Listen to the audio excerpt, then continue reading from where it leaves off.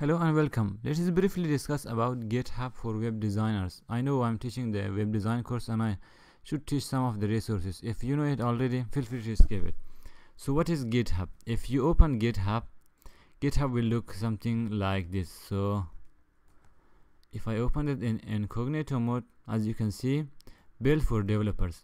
This website is built for developers because you can share your code here, your open source and all of code uh, uh, you can find open source project here you can find closed source project here of course you cannot see their their source and you can upload your own projects here. How it is going to work?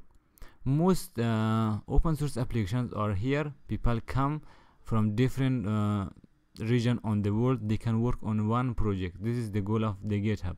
They collect all those uh, information from all over the world. For example if you see any projects let's uh, see one of these one. The control group the voyager. As you can see this is a project and on this project multiple people work. We call them contributors. Contributors as you can see this one has 214 contributors.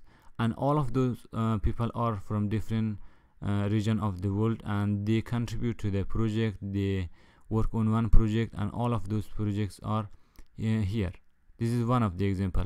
Even Microsoft and most big company use GitHub to put their big projects and you can uh, refer to project as repository in the GitHub. As you can see this repository when I say repository it means any projects on GitHub. So uh, last year I think uh, Microsoft was the first company who had the most open source projects on GitHub. So this is one of the site that big companies use and the good thing about this is you can download the source under their license and if I come down mostly all of this has uh, MIT license unless they uh, mention them in their documentation. If you could go to any of the projects here clone you can download the source code. You can view the source code in the same directory the folders the all the files and uh, what else it has is you can store the projects. If you store them it will be saved as you restore. Later you can see them and you can bring changes. You have the fork option. Fork means you make a copy of this and start editing and then start contributing to the project. If you are a good programmer you can start uh, contributing and uh, help other developer uh, develop a better application. Some of the applications are good but they do not have a good developer they remain the same. If you are a good if you are a good developer you can help them. Here it will show you i will just show you the important places on github. It will show you the last commit means the last changes they have brought to this project was two hours ago. It means this project is very active. And you can come down. They have a readme.md file. Almost every project here has a readme .md file it will be stored here. Here is the readme.md and it is going to be the documentation of their projects. This is the project how you install them how you use them how you can configure them. Almost all of them will be there. I recommend you to make your uh, profile here. If you go to your profile it will show you all the projects you have already built. For example i have built two.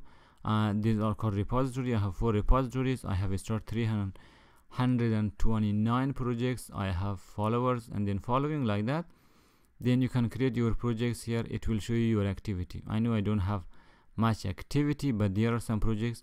The green the more green it is the more activity you have and it will be displayed here. I don't have much activity on github but uh, you should have a lot of activity here because if you want to apply for any job they will ask you your github account. If you don't have then they will not even even uh, hire you because github is very important. Every developer must have it. If you rank should see the ranking of their website it is 63 on the world. It means how many people are using this one. It is very very popular website. So this is all about github and how you use this one. Of course there is many more thing about we will discuss in the next video about git and how it git is related to github so i hope it has been informative for you. If you have any question feel free to ask below the video. And thank you for watching